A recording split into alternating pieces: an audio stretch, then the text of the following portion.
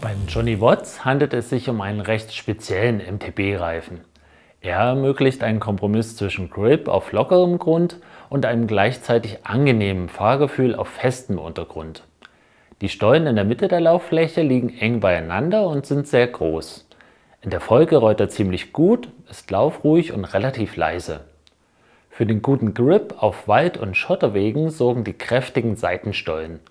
Zudem funktioniert die Selbstreinigung durch die Abstände zwischen den Stollen gut. Der Verschleiß ist bei diesem Reifen sehr gering. Er ist ja eine gute Alternative zum Smart Sam Plus und zum Smart Sam Double Defense. Die breiteren Reifen sorgen hier jedoch für den geringeren Verschleiß. Dank seiner Reflexstreifen eignet sich der Johnny Watts auch für den Verkehr.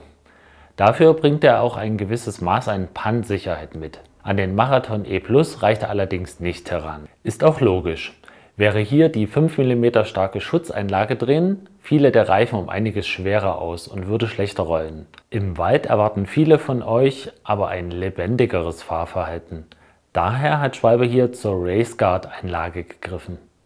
Das heißt, im Zentrum verläuft ein Pannschutzgewebe und an der Seitenwand hat er eine Snakeskin.